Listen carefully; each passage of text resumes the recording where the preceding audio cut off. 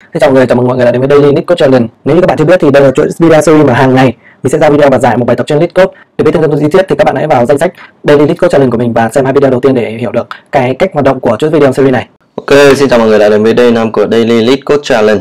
Bài này của chúng ta có tên là M Sorted Array với ID là 88. Ok, đề bài của chúng ta như sau: cho hai mảng 51 và 52 đã được sắp xếp, yêu cầu merge mảng 52 vào mảng 51 để sao cho cái dãy của mảng 1 vẫn là được dãy sắp xếp. Ok, input của đề bài như sau, người ta sẽ cho hai mảng 51 và 52. Trong đó n là số phân tử của 52 và cũng chính luôn là kích thước của mảng. Và m sẽ là số phân tử thực sự của 51. Và cái kích thước của mảng 51 này sẽ bằng tổng kích thước của 51 cộng 52 tức là số phân tử thực sự của 51 chính là m3 tức là chỉ có 3 phân tử đầu thôi. Nhưng cái kích thước của mạng nó sẽ là tổng của hai cái kích thước này là 3 cộng 3 là 6 nó sẽ thêm cái phần thừa này để có thể chúng ta có thể chèn cái mảng 52 này vào 51 và kết quả là mảng 51 của chúng ta sẽ sau khi được chèn vào mảng 52 vào sẽ là 122356 Ok vậy nhiệm vụ của chúng ta đó là làm sao chúng ta có thể mở cái mảng uh, 52 này vào mảng 51 sao cho các phần tử của nó trở thành một cái dãy sắp xếp như này. Ok, nếu như bạn xem series này từ đầu thì các bạn có thể nhận ra rằng bài này nó sẽ khá giống với cái bài là Square of a Sorted Array. Và bài này chúng ta sẽ làm một kỹ thuật tương tự. Mình sẽ để link dưới cái phần miêu tả này các bạn có thể check, kiểm tra lại xem là cả hai cái bài này nó tương tự nhau như nào. Ok, vậy mục đích của chúng ta là chúng ta sẽ chèn dần các phần tử của mảng 52 này vào mảng 51 chính xác hơn là chúng ta sẽ so sánh cái, các cái phân tử ờ, của năm một này với phân tử của 52 để sao cho chúng ta sẽ chèn dần vào cái mảng 51 này từ trái, từ phải qua trái. Tại sao? Tại vì các cái phân tử mà chúng ta sẽ chèn dần vào nó sẽ thay thế các cái số không này. Và nếu chèn từ, nếu như chèn từ trái qua phải thì chúng ta sẽ bị ghi đè vào các cái phân tử này chính vì thế mà chúng ta sẽ chèn từ phải qua trái và chúng ta sẽ chèn các cái số to vào đây trước. Ok vậy là bước đầu tiên của chúng ta là chúng ta sẽ xác định hai cái phân tử cuối cùng của mảng N1 và N2 mình sẽ không dùng 5152 nữa chúng ta sẽ nói N1 N2 để cho nó dễ hiểu. Ok, hai phần tử cuối cùng này vì đây là hai dãy tăng dần nên hai phần tử này sẽ là hai phần tử lớn nhất công việc của chúng ta là sẽ đi từ trái từ phải qua trái của hai dãy này và chúng ta sẽ chèn nó dần dần vào cuối mảng. Ok, sau khi xác định được hai phần tử y và j với y thì chúng ta sẽ bắt đầu với m trừ 1 do kích thước của cái mảng n1 là m. Và với j chúng ta sẽ bắt đầu với n trừ 1 vì kích thước của mảng số 2 là n. Ok, sau khi xác định được y và j thì chúng ta đem so sánh hai giá trị này. Thì chúng ta sẽ lấy giá trị lớn hơn chúng ta chèn vào cuối mảng cụ thể ở đây là chúng ta sẽ chèn uh, số 6 vào khi chúng ta xác định uh, thấy rằng cái phần tử G ở cái mảng số 2 nó lớn hơn. Ok sau khi chúng ta chèn cái phần tử ờ, G của chúng ta vào cuối mảng thì chúng ta loại bỏ cái phần tử đấy và chúng ta thì chúng ta dịch G sang trái một đơn vị.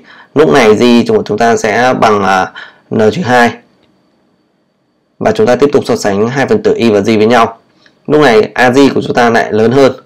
Do vậy là chúng ta sẽ lấy cái giá trị của nó chèn vào cuối mạng à, cuối mạng tiếp theo. Với mỗi lần chúng ta chọn được một giá trị thì chúng ta lại à, lùi sang trái cái à, của cái index của cái mạng đó cụ thể chúng ta lại lùi tiếp. À, Z g ở đây sang một đơn vị nữa. Lúc này g của chúng ta đã nhảy sang đầu mạng và chúng ta lại tiếp tục so sánh hai phần tử y và g lúc này phần tử thứ y của cái mảng ờ, đầu tiên của chúng ta lại lớn hơn. Do vậy mà chúng ta sẽ lại chèn nó vào cái phần tử tiếp theo. Và tiếp tục lùi y số 1 đơn vị. Ok, sau khi chúng ta update được gì và gì, chúng ta lại tiếp tục so sánh. Lúc này hai lớn hơn, chúng ta lại chèn vào đây. Ok, tiếp theo y lại lùi sang phải, sang trái một đơn vị nữa. Chúng ta lại tiếp tục so sánh. Lúc này gì lại lớn hơn, chúng ta lại chèn hai vào theo quy tắc thì chúng ta tiếp tục dịch à, sang trái đến khi nào nó không còn dịch được nữa. Ví dụ ở đây chúng ta đã dịch sang y có giá trị là trừ một. Gì của chúng ta trừ một ở đây không hợp lệ nữa. Chừng nào cái dãy còn lại không hợp lệ tức là chúng ta đã chèn hết các phần tử. 256 ở đây. 2 5 6 thì công việc còn lại chúng ta là chúng ta chỉ chèn các cái phần tử còn lại của mảng y vào chính vào cái mảng đầu tiên vào chính nó thôi cụ thể ở đây là chúng ta lại chèn số 1 vào chính vị trí đó. Ok, theo nguyên tắc thì chúng ta, y chúng ta lại dịch sang trái một bước nữa.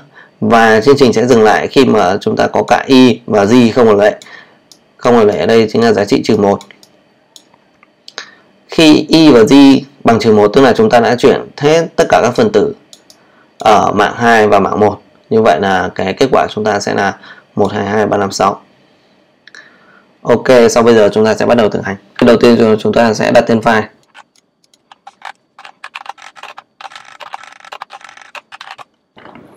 Ok, tiếp theo chúng ta sẽ thêm các câu lệnh cơ bản.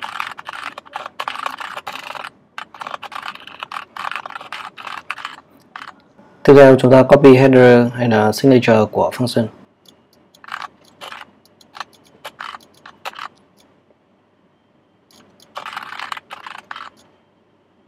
Ok, bước đầu tiên của chúng ta là xác định vị trí y và z. Y của chúng ta sẽ bắt đầu từ cuối cái mảng thứ nhất. Ờ, chúng ta sẽ đánh là A1 đi. Và đây là mảng A2 đây là N1 đi. Đây là N2 mục đích của chúng ta là cho chuyển mảng A2 vào mảng A1 Y của chúng ta hay nói cách khác là AI đi cho dễ theo chỉ số của nó với AI chúng ta sẽ chạy với chỉ trong mảng AI với chỉ số là Y chúng ta sẽ chạy trong mảng AZ với chỉ số là G chỗ này là NI đi chỗ này là NG Ok, với y chúng ta có ni trừ 1 chính là phần tử cuối cùng của mảng ai. Với z thì ta có NG trừ 1 chính là phần tử cuối cùng của mảng az. Ok và chúng ta sẽ có k. K là gì? Chúng ta sẽ gọi cái index uh, của mà chúng ta sẽ đi tìm đó là index k của chúng ta ở đây. Chính là cái phần tử cuối cùng của cái mảng à, uh, AI này. Và k ban đầu sẽ bằng uh, tổng phần tử của hai mảng này trừ đi một. K sẽ bằng ni cộng nj trừ 1 ok. Nhiệm vụ của chúng ta là đi điền vào cái mảng ai với phần tử thứ k này ok chúng ta sẽ bắt đầu với một vòng lặp while cho đến khi nào mà y của chúng ta vẫn còn lớn hơn bằng 0 và hoặc này chừng nào y của chúng ta vẫn hợp lệ hoặc z của chúng ta vẫn hợp lệ z vẫn lớn hơn bằng không thì chừng đó là chúng ta vẫn có thể chèn được vào các cái phân tử uh, vào mảng z. Chúng ta có thể thấy là chương trình chỉ dừng lại khi mà z y bằng trừ một và z bằng trừ một. Còn chừng nào mà y vẫn lớn hơn bằng không và z vẫn lớn hơn bằng không thì chúng ta vẫn còn có thể à, thêm tiếp phần tử vào. Ok để sau khi đã xác định được y và z thì chúng ta lại chia thành hai trường hợp. Trường hợp thứ nhất là y và z đều đang hợp lệ thì lúc này chúng ta phải so sánh thứ tự à, ai và az để lấy cái giá trị lớn hơn chúng ta chèn vào mạng.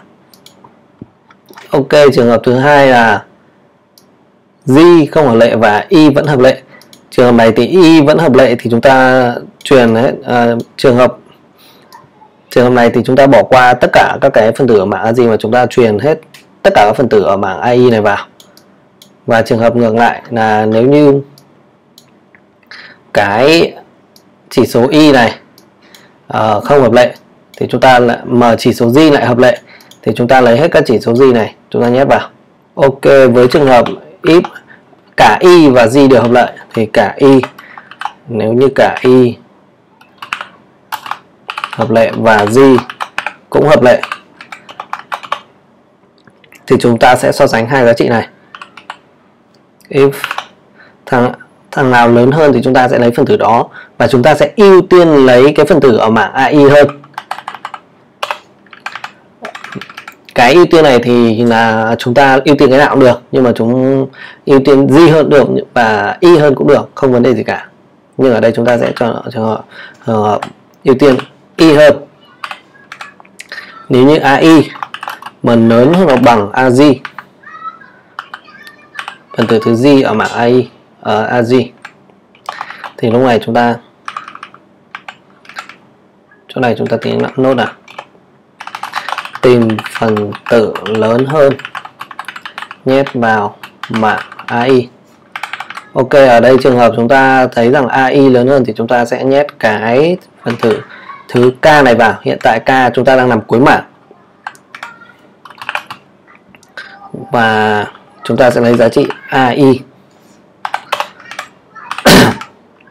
lúc này tổng chúng ta vừa lấy AI xong thì chúng ta phải dịch y lên trái một đơn vị và cũng dịch ta sang trái một đơn vị. Ở đây sau khi chúng ta ví dụ chúng ta đã xác định được rằng AJ lớn hơn thì chúng ta à, chèn cái số AK ở đây k đang bằng k đang bằng 5 chính là phần tử cuối cùng. Sau đó chúng ta phải dịch à, k trừ 1 chúng ta sẽ dịch k sang đây.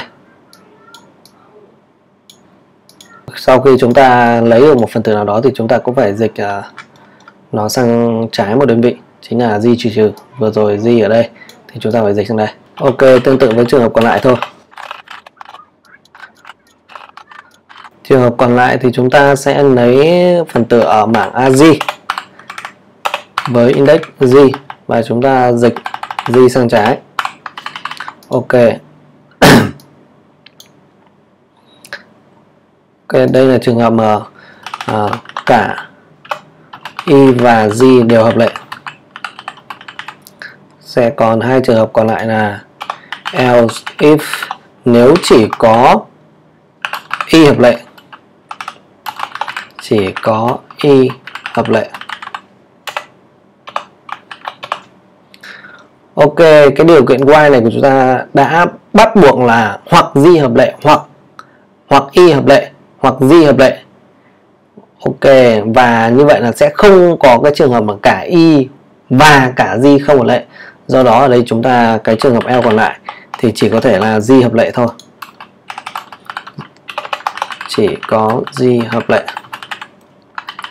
Nếu như chỉ có y hợp lệ thì chúng ta cũng lấy phần tử của y thôi.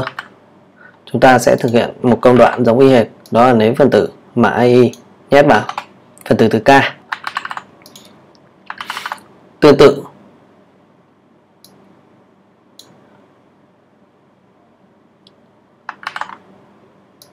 chúng ta, nếu chỉ có di hợp lệ thì chúng ta sẽ lấy phần tử ở mạng AZ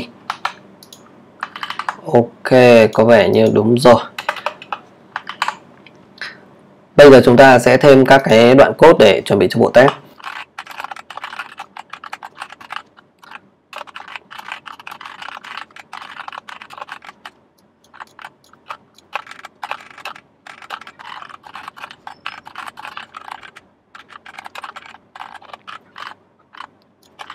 Ok, chúng ta có V1 đại diện cho cái mảng 1 và V2 đại diện cho cái mảng 2. Trong khi đó thì N1 chính là cái số phân tử thực sự của mảng 1 và N2 chính là số phân tử của mảng 2. Chúng ta thêm cái bộ test của đề bài vào.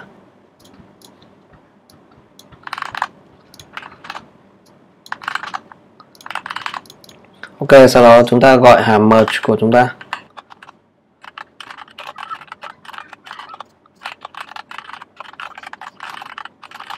Ok giờ chúng ta chạy thử.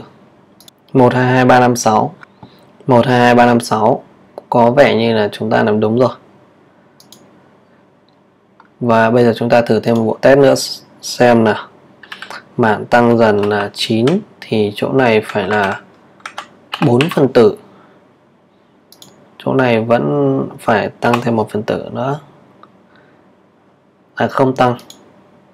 Vẫn là 3 nhưng mà chúng ta phải thêm một số không vào. Ok chúng ta chạy tiếp. Ok 1 2 2 3 5 6 9 có vẻ như là chúng ta biết đúng rồi. Đây, chúng ta submit. Ok có vẻ như bài tập chúng ta đã được chấp nhận rồi. Ok, có một lưu ý đây là chúng ta có thể uh, giảm thiểu cái đoạn code bằng cái ký tự trừ trừ như này. Sau khi thực hiện công lệnh này thì GI e và K sẽ giảm đi một thì chúng ta có thể sử dụng toán tử uh, hậu tố là trừ trừ như này. Code ngắn hơn. K trừ trừ như này. Trong trường hợp đơn giản này thì chúng ta có thể làm như vậy để à, giảm bớt cái line of code đi. Còn nếu như là có nhiều hơn một phép tính thì ở đây chỉ có một phép tính là phép gán thôi thì chúng ta có thể dễ quan sát. Nhưng còn nhiều phép tính thì chúng ta không nên làm như vậy. Ok, đúng rồi. Ok, bài tập của chúng ta kết thúc tại đây. Hy vọng rằng mọi người có thể tích cực luyện tập nhiều hơn so trong cái phần này. Không cần chúng ta cần làm nhiều quá bài tập, nhưng chúng ta cần duy trì đều đặn hàng ngày. Mỗi ngày làm một tí, mỗi ngày làm một tí. Như vậy cái sự kiên trì của chúng ta nó sẽ dài hơi hơn người ta thường rất là hứng thú khi bắt đầu nhưng mà chẳng mấy ai kết thúc được cả. Vì vậy mình hy vọng các bạn sẽ là một trong số ít những người có thể cùng nhau chúng ta finish cái dự án này. Ok, xin chào và hẹn gặp lại.